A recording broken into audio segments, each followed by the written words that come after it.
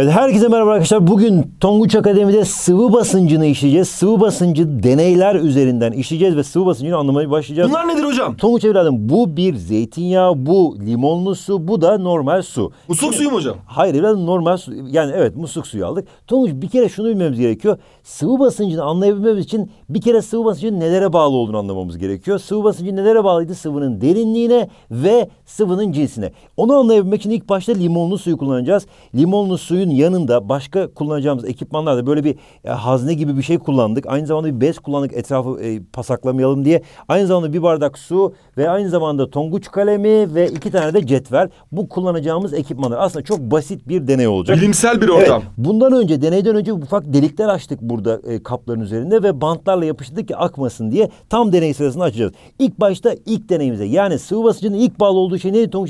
Sıvının derinliğiydi. Sıvının derinliğinin için sadece limonlu suyu alıyoruz Tonguç ve süper bir deney hazırlayacağız. Bunları bir kenarda bırakalım bakalım. Şimdi bunlarla uğraşmayacağız. Şimdi sıvı basıncının derinliğine bağlı olduğunu söylüyoruz. O zaman sıvı derinliği arttıkça yani aşağıdaki delikte daha fazla basınç olmasını bekleriz. O zaman bunun daha fazla fışkırmasını bekleriz.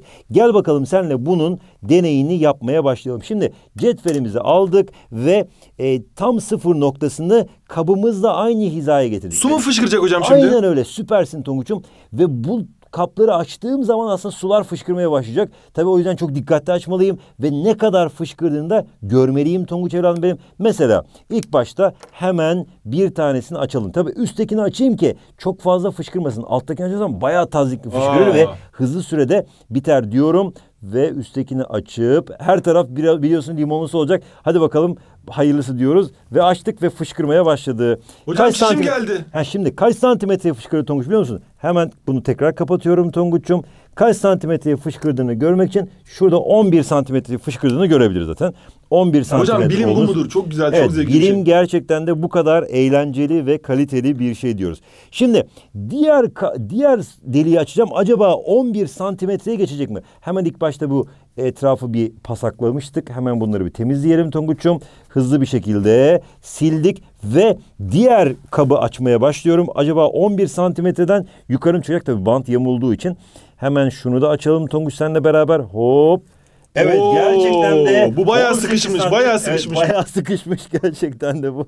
Evet dolayısıyla Rezil 18 etti etrafı, pis santimetreye çıktı. 18 santimetre çıktı. Acaba bakalım bir sonraki gerçekten her taraf acayip Ben yanınızdan çekildim hocam, benim üstüme gelecek diye korkuyorum. Gerçekten de ama deney için bilim için ne yaparız? Bilim için her şeye hazırız. Etrafı kirletebiliriz. Normal bir şey. Gerçekten su içinde kaldık. Her tarafımız ama olsun. Sıvı basıncını anlayalım yeter ki diyoruz. Ve Tonguç hemen üçüncü ve en alttaki deliği açıyoruz. Limon suyumuz bitmeden çünkü Oo, gerçekten de inanılmaz fışkırdı. Hatta hepsini açalım da görelim bakalım. Resmen belediyenin fıskiyesi gibi oldu hocam. Evet gerçekten de evet görüyorsun Tonguç'um. Bak alttaki daha fazla fışkırıyor, üstteki daha az fışkırıyor. Buradan da net bir şekilde zaten görebiliyorsun. Bak bu azalıyor azalıyor. Çünkü alttaki basınç daha fazla ve buradan net bir şekilde sıvı basıncının derinliğe bağlı olduğunu anlayıp öğrendik. Tonguç bravo diyorum sana bu deneyimize. Şimdi ikinci deneyimizde su ve zeytinyağının karşılaşması ama birazcık etrafı temizleyelim. Bu arada bir, bana birazcık izin ver diyorum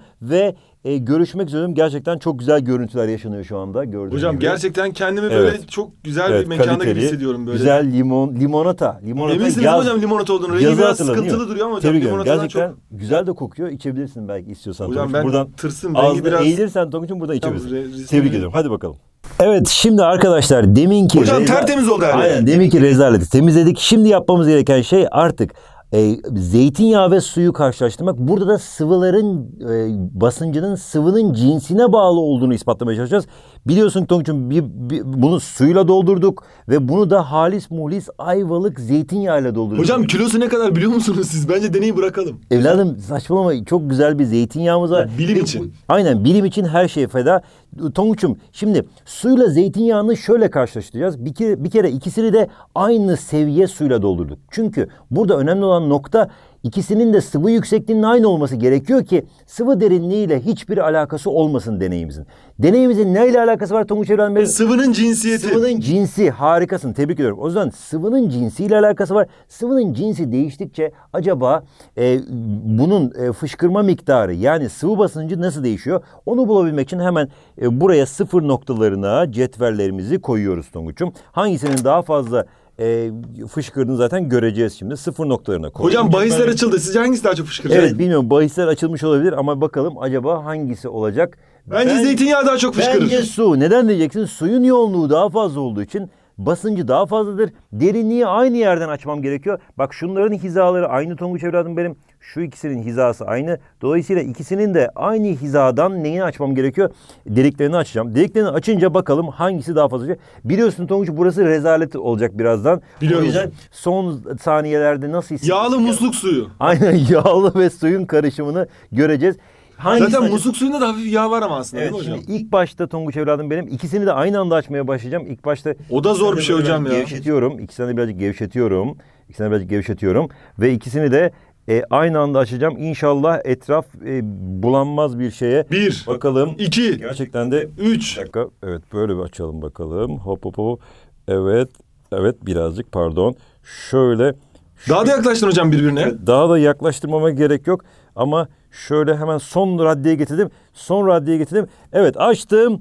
Evet açtım Tonguç. Oo. Gördüğün gibi gerçekten sıvının cinsine bağlı olarak suyun fışkırması Biz böyle yarışmaları fazla- okulda da yapıyoruz hocam arkadaşlarla. Aynen, su daha fazla fışkırdı. Sebebi ise suyun yoğunluğu daha fazla için aynı yükseklikte basıncı daha fazla olduğu için daha fazla fışkırıyor Tonguç. Zaten görüyorsun 13 santimetreye falan geldi. Yağ ise basıncı daha az olduğu için ancak 5-6 santimetreye falan gidebildi. Hatta bayağı bir basıncı düştü. Üstüne Yani- dökülüyor hocam, üstüne yapıyor yani. Yani resmen ya saçmalamayın lazım. Hayır Dolayısıyla- üstüne, kabın üstüne dökülüyor Kabın üstüne ya. dökülüyor neredeyse. Gerçekten öyle. Dolayısıyla görüyorsun Tonguç su gerçekten canavar gibi canavar gibi performans dökülüyor. Hiç bunu temizlemeyeceğim. Zaten deney tamam. rezalet oldu artık. Yağma her şey. Ekmek Ama- getirip banalım hocam. Evet bence de buna bir yemek yapılabilir. Tonguç o yüzden bunu hemen evine götür diyorum sana. Teşekkür ederim. Bir e, tavsiye, hoca tavsiyesi. O zaman süper bir şekilde sıvının cinsine bağlı olduğunu nasıl anladık Tonguç'um? Suyla zeytinyağını karşılaştırdık. Demin de yaptığımız deneyde bu üçünü açmıştık. Bak deminki şu deneyi göstermek istiyorum sana.